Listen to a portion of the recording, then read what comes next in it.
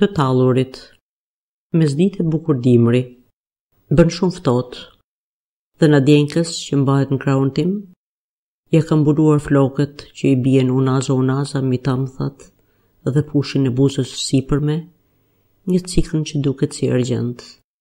Jemi në majën e një mali të lartë prej akulli, që nga këmbët tona gjer poshtë në fushë shtrihet një sipërfaqe e pjerrët, ku dielli pasqyrohet si në një pasqyrë.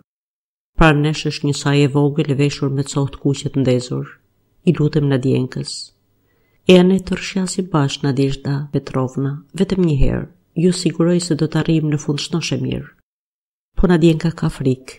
Gjithë hapësira që nga galloshet e saj të vogla gjer në fund të malit prej akulli, i duket si një greminë ku merren mend dhe shumë shumë e thellë. Asaj, dhe kur i them të ulemi në sajë i mbetet zemra. Çka do të ndodhë sikur ta marrë në sy e të rrëshqasë në greminë? Do të vdesë, do të çmendet? Ju lutem i them, nuk duhet të kini frikë, kuptoni pra, është turp të kini frikë, mos u bëni burracake. Më në fund Nadjenka kandiset dhe unë e kuptoj që nga fytyra se ajo po bën këtë duke marrë në sy jetën. E ul në sajë ashtu të zbehtë e duke u dridhur e tëra, e shtrëngoj në gjoksin tim dhe lëshohemi në greminë. Saja fluturon si plumb, era na rreh fytyrën, ulurin e na fërshëllen në vesh, na çpon si e tërbuar, sikur kërkon të na shkulë kokën. Nën dyndjen e saj s'kemi fuqi të marrim frymë. Na duket sikur vetë demoni na ka pushtuar fort dhe po na tërheq në skëterrë duke klithur. Sendet që na rrethojnë shkrihen në një vijë të gjatë, që nxiton me vrull të na dalë përpara. Ja, ja edhe pak dhe do të vdesim. Të dua Nadia, i thashë me zë të ulët. Tani saja shket sa vete më me ngadalë, dhe ulurima e erës, kërkëllima e sajës në akull nuk janë më aq të llahtarshme. Marrim frymë më lehtë dhe më në fund gjendemi në fushë. Nadjenka është bërë si e vdekur, është e zbehtë dhe mezi merr frymë, e ndihmoj të ngrihet. Sikur ç'të më japin nuk shkas prapë, thotë ajo, duke më shikuar me sy të zgurdulluar nga llahtara. Sikur botën të më falin, mend vdiqa. Nuk shkon shumë dhe ajo e mbledh veten, e më vështron në sy sikur do të më pyesë. Unë ia thashë ato tri fjalë, apo era ia fryu në vesh. Po unë bëj sikur s'di gjë, pi duhan dhe shoh me vërejtje dorashkën time. Ajo pështetet në krahun tim dhe shëtisim një copë herë të madhe rëzë malit. Duket se enigma nuk e lë të qetë. A u thanë ato fjallë apo jo? Po apo jo? Po apo jo? Kjo është një çështje sedre, nderi, jete, lumturie. Një çështje me shumë rëndësi, më rëndësishme çështje në botë. Me një vështrim të paduruar, të trishtuar, depërtonjës, Nadjenka gjurmon fytyrën time. Përgjigjet tjetër për tjetër, pret që të flas unë i pari. O, çfarë lodër shprehjesh në atë fytyrë engjëllore, çfarë lodër?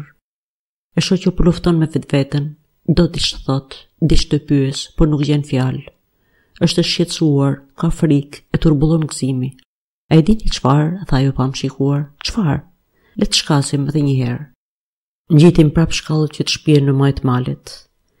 E vë përsëri Nadjenkën në sajë, ashtu të zbehtë dhe duke u dredhur e tëra dhe përsëri biem në greminën e llahtarshme. Përsëri era shungullon, dhe saja kërcet mbi akull dhe përsëri në çastin kur saja merr hovin më të madh i them me zë të ulët. Të dua, Nadjenka.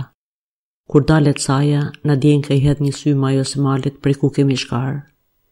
Pastaj më vështron mua një copë herë të madhe. I vë veshin zërit tim të njëllojshëm dhe gjithë trupi i saj i tëri, i tëri, bashkë me gëzofin që i mbron duart dhe kapuçin që i mbulon kokën e veshët, shpreh një pasiguri të madhe. Në fytyrën e saj është shkrojtur: "Po ç'është kjo? Kush i tha këto fjalë? Ai t'i ketë thënë apo më bëjnë veshët?" Kjo pasiguri e shqetëson dhe e bën të humbasë durimin. Vajza e gjorë nuk u përgjigjet pyetjeve të mia. Ngryset dhe është gati t'ia shkrepë të qarit. Shkojmë tani, i them. Po mua më pëlqen të shkas, tha ajo duke u skuqur. Shkasim edhe një herë? Asaj i pëlqen të shkasë, por kur ulet në sajë bëhet njësoj si edhe herët e tjera. I dridhet tërë trupi, zbehet, dhe mezi merr frymë nga frika. Shkasim për të tretën herë, dhe e shoh që më gjurmon fytyrën e më ruan buzët. Por unë afroj shaminë te goja, kollitem, dhe kur arrijmë në mes të tatëpjetës i murmuris, të dua Nadja. Dhe enigma mbetet enigmë. Nadjenka hesht dhe diç mendon. E përcjell gjer në shtëpi, ajo mundohet të ecë sa më ngadalë, mban këmbët dhe pret që t'i them fjalët e mëparshme. Dhe unë e shoh se sa vuan me shpirt, se sa përpjekje të mëdha bën në shpirtin e saj që të mos thotë: është e pamundur t'i ketë thënë era ato fjalë. Dhe unë nuk dua që t'i ketë thënë era.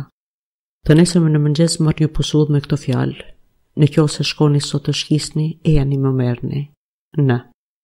dhe që prej asaj dite shkoj e shkas përditë me nadjenkën dhe sa herë që arrijmë në sajë në mes të rrëshqitëses them me zë të ulët po ato fjalë të dua nadja sakaq nadjenka mësohet me këto tri fjalë si të mësohet me verë ose me ndonjë narkotik ajo s'mund të rrojë më dot pa to Është e vërtetë se ajo ka prapë frikë të shkasë nga maja e malit, por tani edhe friga e rreziku i japin një hije të veçantë atyre fjalëve të dashurisë që mbeten gjithnjë një enigmë për të dhe i shtrëngojnë zemrën. Ajo dyshon gjithnjë për ne të dy, për mua dhe për erën. Nuk e di se kush nga ne të dy i shfaq dashurinë, por duket që tani aq e bën, cilado qoftë kupa ku ajo pi, s'ka rëndësi, mjafton që ta dehë. Një ditë në kohën e drekës shkoj në rrëshqitëse, në mes të turmës shikoj Nadjenkën t'i afrohet malit dhe të më kërkojë me sy. Pastaj ngjit shkallët me drojtje. Ka frikë të shkasë vetëm. O sa frikë që ka, është e zbehtë si dëbora, dridhet, ngjitet sikur të ngjitet për tek trekëmbëshi, po shkon përpara me vendosmëri dhe s'kthehet. Me sa duket ajo ka vendosur të di nëse do t'i dëgjojë ato fjalë tronditëse të ëmbla kur nuk jam unë me të. E shoh krejt të zbehtë dhe me gojë të hapur nga llahtara të ulet në sajë, të mbyllë sytë, e duke i thënë lamtumirë për gjithmonë kësaj bote të shkasë. Zhhh, ia bën saja mbi akull. Nuk e di nëse Nadjenka i dëgjon ato fjalë të mistershme. vetëm e shoh tek ngrihet e rraskapitur pa pikë fuqie. Dhe kuptoj nga fytyra e saj se as ajo vetë nuk e di, në ka dëgjuar ndonjë gjë apo jo. Friga që pati kur shkau nuk e la të dëgjonte, të dëgjonte zërat, të kuptonte. Po ja ku erdhi muaji mars, pranvera, dielli bëhet më i ëmbël, mali ynë prej akulli nxihet, humbet shkëlqimin e tij dhe më në fund shkrihet. Ne nuk do të shkasim më, Nadjenka e gjorë nuk do t'i dëgjojë më fjalët e ëmbla, sepse nuk do të ketë kush t'ia thotë. Era nuk dëgjohet më të vërshëllejë dhe unë po bëhem gati të nisem për në Peterburg për një kohë të gjatë, pa dyshim përgjithmonë. Dy ditë para se të nisesha një ndajnatëherë isha ulur në kopshtin tonë të vogël, që e ndan një gardh me thumba majë hunjve nga shtëpia ku rri Nadjenka. Bën akoma mjaft ftohtë, pranë plehut ende ka dëborë, pemët akoma nuk janë ngjallur, po korbat ziejnë duke kërkuar vendin për të kaluar natën. I afrohem gardhit dhe vështroj një copë herë nga një e çarë. Shikoj Nadjenkën të dalë në krye të shkallëve dhe t'i hedhë qiellit një vështrim plot dëshpërim. Thëllimi i pranverës i rreh fytyrën e zbehtë dhe të ngrysur. Ai i sjell ndër mend erën që vërshëllente dikur në majë të malit, Kur dëgjonte ato fjalë të ëmbla dhe fytyra e saj trishtohet, trishtohet shumë dhe një lot i shket në faqe. E gjora vajzë, shtrin të dy duart si ta luste erën që t'ia sillte dhe një herë ato fjalë. Në këtë kohë, duke përfituar nga një erë e fortë, unë murmuris me zë të ulët. Të dua, Nadja. O zot si u bë Nadjenka, lëshoi një britmë, bëri buzën në gaz, ftyra iu çel dhe shtriu duart drejt erës, e gëzuar, e lumtur dhe shumë e bukur. Futem brenda që të bëj gati valixhen për t'u nisur. Ka shumë kohë që ka ngjarë kjo. Tani Nadjenka është martuar. Pak rëndësi ka nëse e martuan me pahir apo me pëlqimin e saj. I shoqi është sekretar i zyrës së sekuestrimeve dhe ka tre fëmijë. Ajo nuk i ka harruar të shkarat tona të dikurshme dhe erën që i sillte fjalët të dua Nadjenka. Tani ato janë kujtimi më i lumtur, më prekës dhe më i bukur i jetës së saj. Kurse unë, tani që u bëra më i pjekur, nuk e kuptoj përse i thosha ato fjalë, përse tallesha.